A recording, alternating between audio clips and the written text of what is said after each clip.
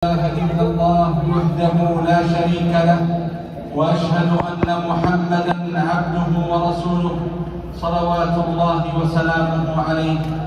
أما بعد عباد الله نعم الله علينا لا تعد ومننه علينا لا تحصى لكن أعظم نعمة يتنعم بها الإنسان هي نعمة الهداية.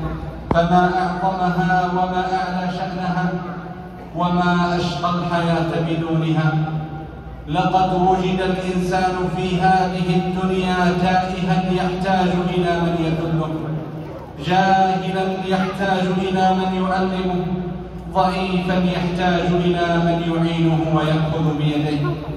وكل هذه الحاجات توفى لمن يرزقه الله نعمة الهداية.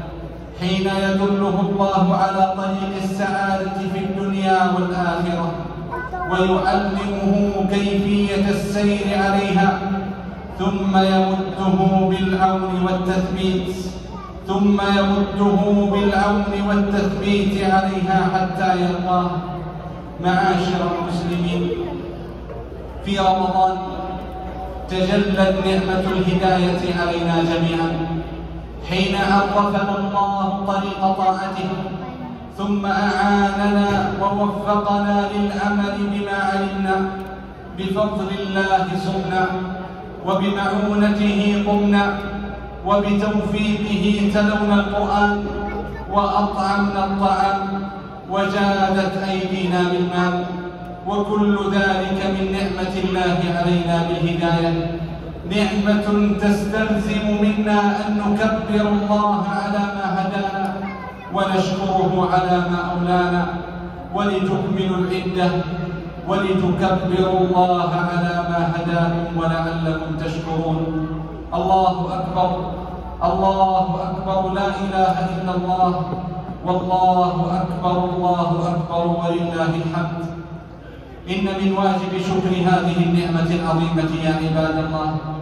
أن نثبت أن نثبت على الهداية بعد رمضان وألا نتنكب الطريق ولا تنحرف من السبل وألا نرجع إلى التيه في أودية الدنيا الهالكة. كالذي استهوته الشياطين في الأرض حيران له أصحاب يدعونه إلى الهدى ائتنا قل إن هدى الله هو الهدى. معاشر المسلمين في الليلة الماضية حلت قيود الشياطين وعادت المردة من جديد إلى ساحة المعركة ليكملوا مسيرة الإغواء ويرابطوا على أبواب الصراط المستقيم ليخرجوا منه عبادا كانوا على درب الطاعة سائلين وعن سبل المعاصي معرضين ستسمعون نداءهم للمعاصي فأغلقوا عنهم آذانكم سترون تزيينهم للمنكرات فغضوا عنها أبصاركم ستشعرون بوسوستهم وتثبيطهم. فاستعيذوا بالله منهم ولا تمكنوهم من قلوبكم. اثبتوا على الطاعات وأكثروا منها فهي من أعظم المثبتات. ولو أنهم فعلوا ما يوعظون به لكان خيرا لهم وأشد تثبيتا. وإذا لآتيناهم من لدنا أجرا عظيما ولهديناهم صراطا مستقيما. اعتصموا بالقرآن.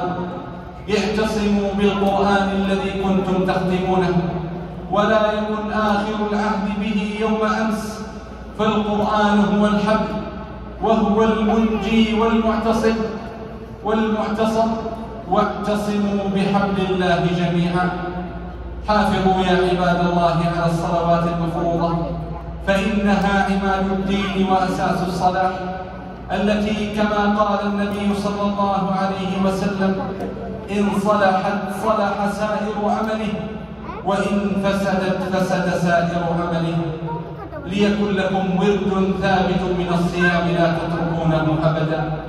ولتكن البداية بصيام ست من شوال التي قال عنها النبي صلى الله عليه وسلم من صام رمضان ثم أتبعه ستا من شوال كان كصيام الدهر. الله أكبر الله أكبر لا إله إلا الله الله أكبر الله أكبر ولله الحمد. بارك الله لي ولكم في القرآن والسنة. ونفعني وإياكم بما فيهما من الآي والحكمة. أقول ما سمعتم وأستغفر الله فاستغفروه إنه هو الغفور الرحيم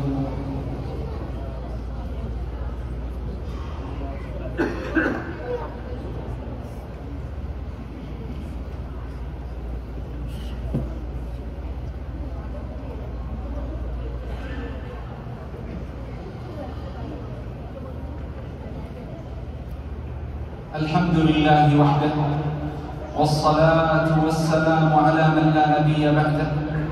الله أكبر الله أكبر لا إله إلا الله. والله أكبر الله أكبر ولله الحمد. معاشر النساء من سيداتنا وسيداتكن آسية بنت مزاحم امرأة فرعون. تلك المرأة الصالحة التي عاشت في أفسد بيئة يمكن أن يعيش فيها إنسان. عاشت في كنف فرعون. أعتى أهل الأرض وأطغاهم ومن أجمعهم للملك والمال والمتاع.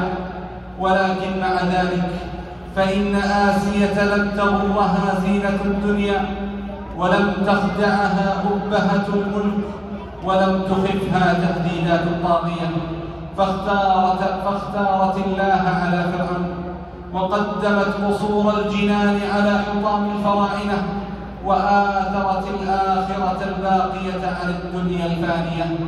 فكانت نعم المثال فكانت نعم المثل ونعم القدوة الصالحة لأهل الإيمان. وضرب الله مثلا للذين آمنوا امرأة فرعون إذ قالت رب ابن لي عندك بيتا في الجنة ونجني من فرعون وعمله ونجني من القوم الظالمين.